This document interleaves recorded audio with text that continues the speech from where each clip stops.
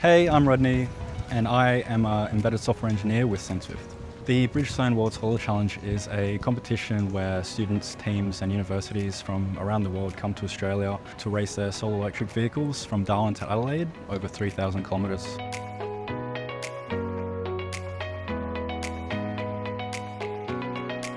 So what we're trying to achieve in the Bridgestone World Solar Challenge is to essentially win and show the world what we're capable of. SunSwift is a team of roughly 90 university students and our goal is to build solar electric vehicles with the aim of innovating these technologies and advancing the industry.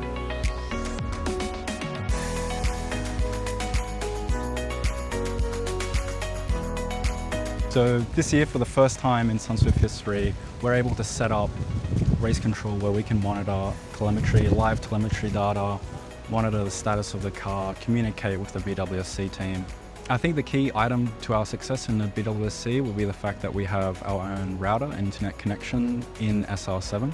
This allows our team and the convoy to remotely connect uninterrupted to the vehicle the fact that the car has its own router internet connection means that we can send telemetry data off to the cloud so that everyone in the team, including race control behind me, they can monitor and watch live streams, monitor the data. So we are mainly relying on the Cradlepoint router to provide 4 and 5G cellular connection, but in areas where this connection is unavailable, the router will dynamically change and switch to low Earth orbit satellite. And because as you know, we're driving from Darwin to Adelaide, 3,000 kilometers straight to the heart of Australia. There's little coverage out there, so the fact that we can switch dynamically from cellular to satellite is amazing. Like what's behind us right now wouldn't be possible without that.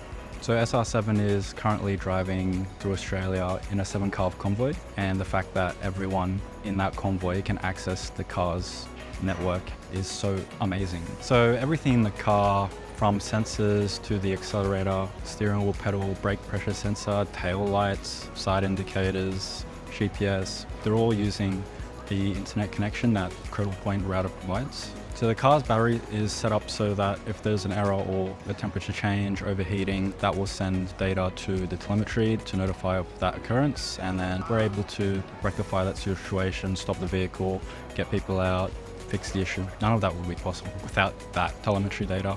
It's a big relief because we can actually now foresee potential issues that may arise earlier through this connection to the system.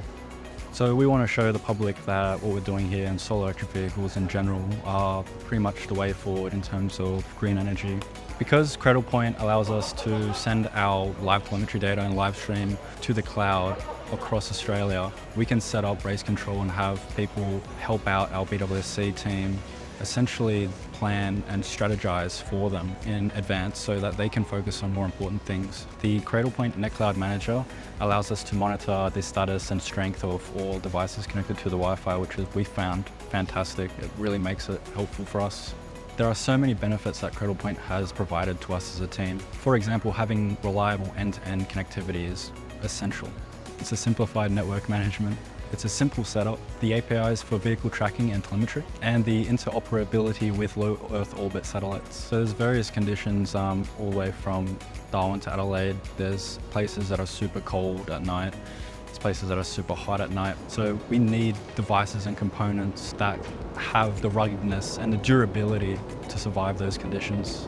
For example, Cradlepoint's ruggedized hardware is able to withstand these extreme conditions. Our team deploys edge compute onto the Cradlepoint router so that we are able to monitor the connectivity of the Wi-Fi. The Cradlepoint router provides us with uninterrupted internet connectivity and for live telemetry data, this is essential.